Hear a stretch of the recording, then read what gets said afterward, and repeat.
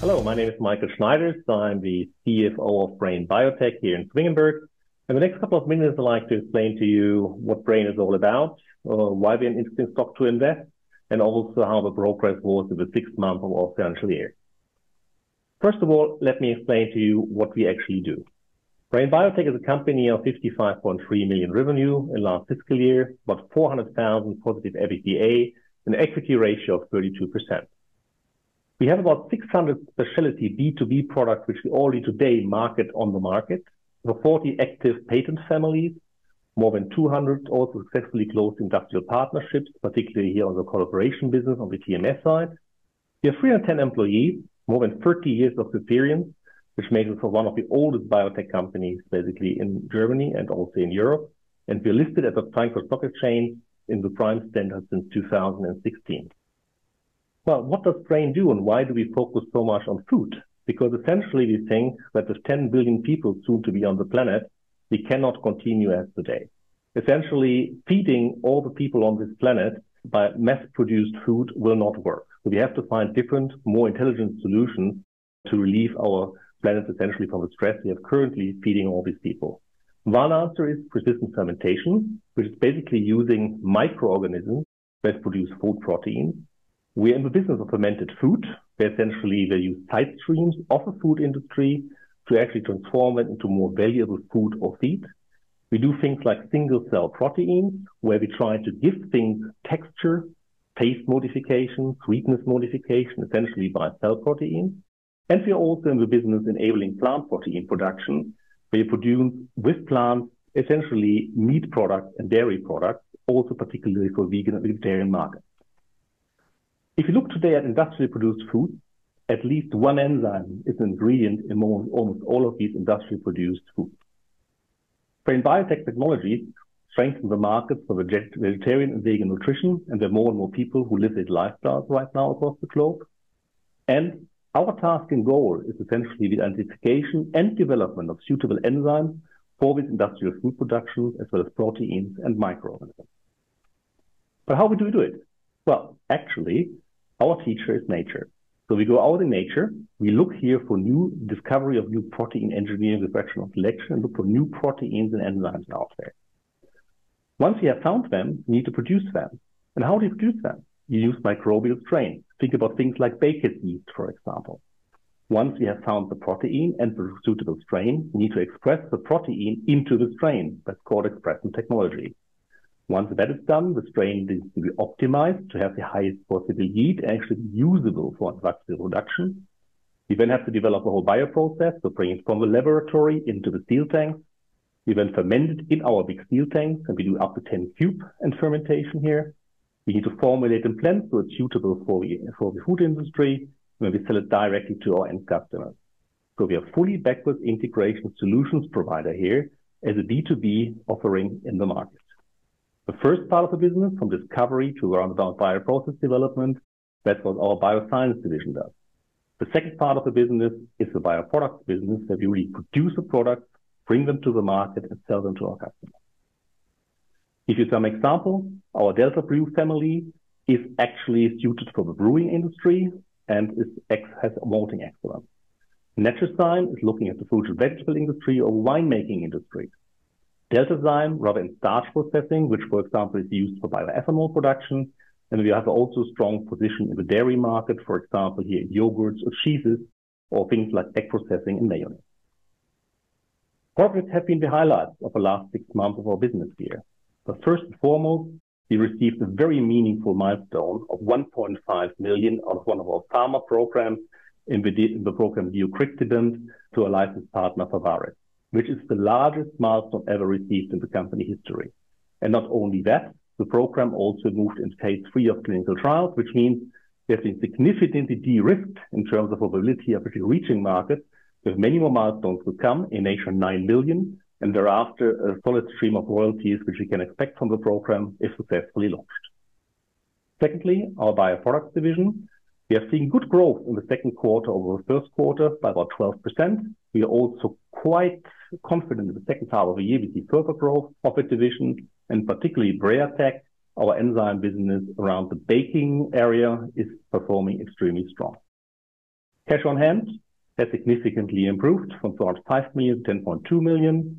We had a cash inflow of 5.5 million, essentially from increasing financial liabilities. We raised an additional convertible bond in the market of 5 million and had some scheduled debt repayments of 1.8 million, giving us a solid cash reach for the rest of the year. We have also made some good progress in our bioincubator pipeline. First of all, from our project Gold from Waste Streams. Here the project progress as planned. The bioextractor, which is our, you know, let's say, uh, medium-sized lab, uh, based in a container. We have now moved out of our campus here in Zwingenberg to our partner location in Europe.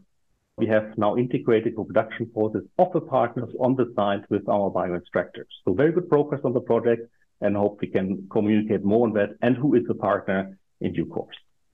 Secondly, on brazzein, that's our sweetener program. We're trying to have a natural sugar alternative as a non-caloric sweetener. And here, essentially, again, good progress as a partner. We have found a new strong partner for the process. We're in constructive negotiations with the commercialization strategy. And also quite interesting for you to know, brazzein has now gotten the so-called FDA GRAS approved in the U.S., which means it's generally regarded as safe to be used in food applications, which means that also our application process for a brazzein protein in the U.S. market will be much easier and quicker to market. What is also very important for us, and I explained it before, that when we find an enzyme, we have to express it, but actually the expression platform, i.e., these microbial strain platforms, get ever more perfected. i.e., if we increase the yield of these strains, these strains become more productive and our biofactories become more productive.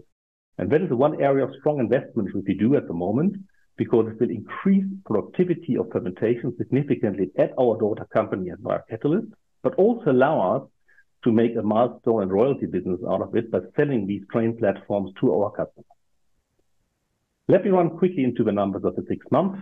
In the first six months, we had flat revenues of the group overall, but with a strong acceleration in the second quarter. And indeed, we do expect more acceleration in the third quarter and fourth quarter to reach our full year target of around 5%-12% growth on top line.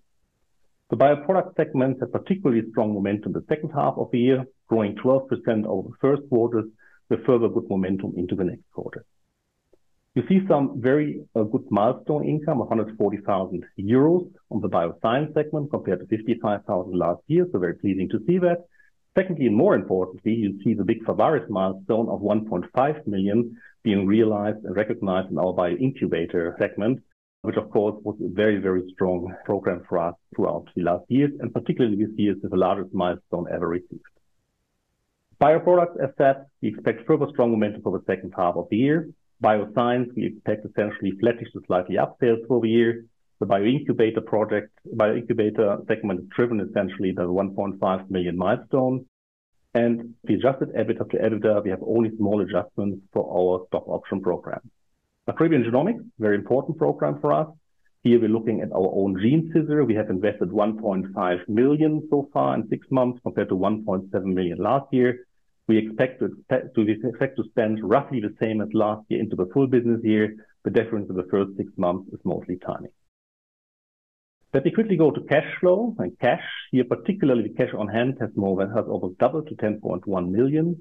We have additionally 5 million of new financing coming in in the next quarter of the fiscal year of Hessen Capital. We have also some paybacks, so there will be net positive cash flow in the third quarter of 4.1 million. We are now also in additional negotiations to find other non-dilutive measures that reach beyond the 2023/2024 business year. So we see ourselves in a good position, and we'll see ourselves in an increasingly good position in the next quarters to come to finance our growth. Our guidance remains unchanged for this year and also the midterm guidance, i.e., for this year, we're aiming 58 million-62 million of sales, which represents 5%-12% growth. We're looking at EBITDA to grow at least in line with that sales growth on percentage level. At Akribion Genomics, we expect expect flat spending of about 3.3 million year-on-year. Our midterm targets are, of course, still very ambitious. So growing in the next uh, four to five years to 100 million group revenues, so almost doubling in size. Growing to an EBITDA margin midpoint of 15%, and essentially having a strong proportion of new products in the market by that time. So why are we an interesting company to invest in? Five reasons for that. First, by investing in Brain, are investing in sustainable growth in the dawning age of biology. With our solutions, we address some of the mega topics for better, healthier, and more sustainable life. We actively contribute to more sustainable industrial production and the entry into the circular economy. We have an attractive portfolio of biotechnology solutions, so not a one product company, but a whole portfolio of solutions and processes. And we have embarked now on a clear path towards profitable growth. Next communications will be our nine-month reporting on August the 29th. And if you have ever further questions, please contact Investor Relations or myself. It's been a pleasure to talk to you. Thanks a lot.